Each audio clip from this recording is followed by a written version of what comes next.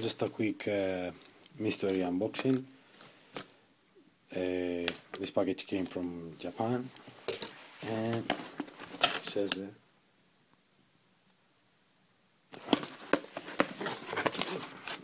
is what I got. A couple of uh, Nendoroids.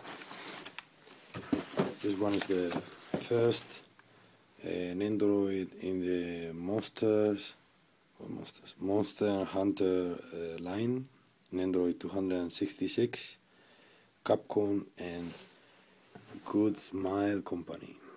This is the male version. This is also a female. This is the male. Very cool, and uh, I really like the colors. This blue and the red. On the short, the the short is uh, giant.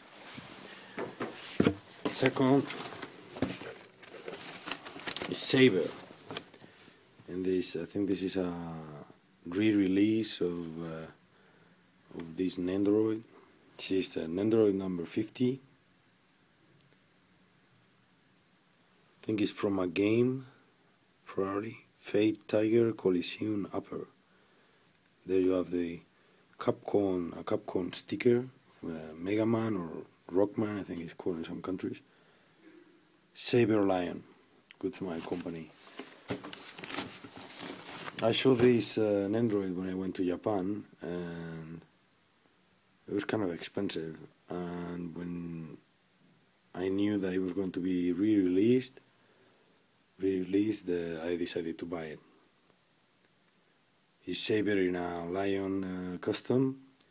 You get a bowl and some uh, chopsticks, and also this uh, leg or whatever I don't know how to call it, like this big piece of uh, meat. Okay, and that's all. That's all I got in this package.